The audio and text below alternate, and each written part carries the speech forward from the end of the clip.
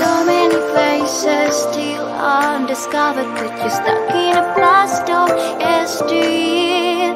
Forget all the problems just for the moment. That is the kind of story you should see.